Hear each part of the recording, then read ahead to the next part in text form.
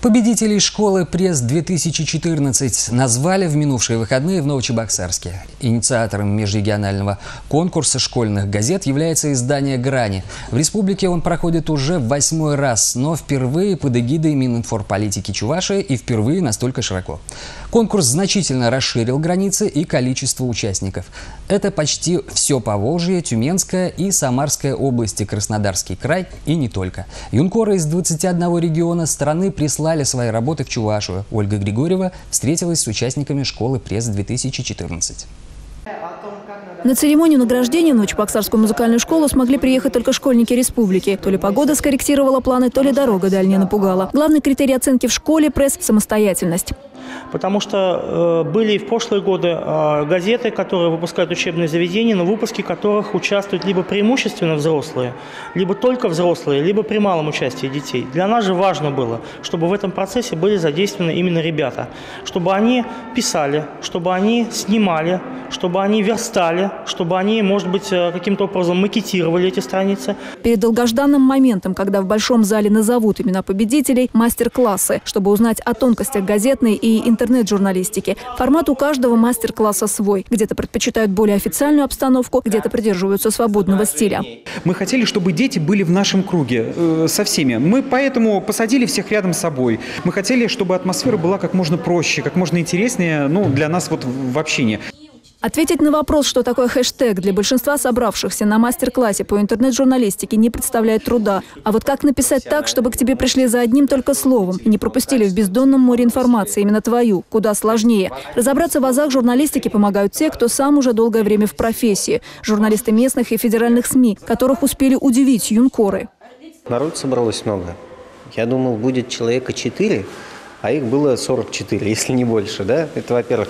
Во-вторых, понравились вопросы.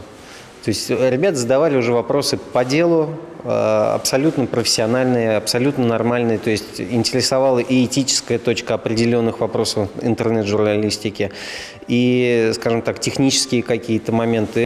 Абсолютно на всех мастер-классах общение проходит легко. Здесь открыто делятся мнениями. Порой не соглашаются и опровергают. Но с блеском в глазах говорят и слушают. Мотают на ус. Ведь чужой пример другим наука. Самая распространенная ошибка, э, самая распространенная, вот э, все пытаются копировать э, уже существующие издания.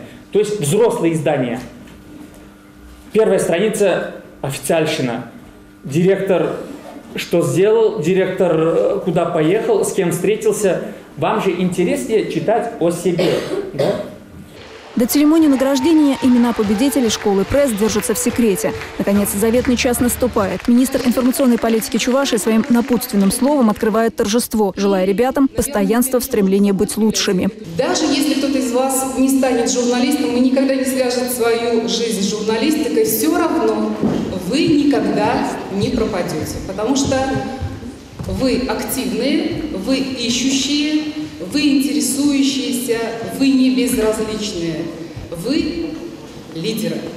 Чтобы стать победителем и получить награду школы пресс, редакция «Школьной поры» из Маргаушского района проделала долгий путь, а на нем были и другие победы. Лично я, если говорить о себе, то я пишу о проблематике э, именно самих вот детей, о, о том, что их интересует, о том, что они хотели бы узнать. Часто я затрагиваю такие э, большие проблемы, как взаимоотношения родителей и детей. На церемонии чествуют абсолютно всех участников конкурса «Школы пресс». Каждый должен уйти отсюда с настроением и настроем, чтобы впредь строчить шедевры сначала в школьной, а потом, возможно, и федеральной газете. Ольга Григорьева, Андрей Шоклев, Республика.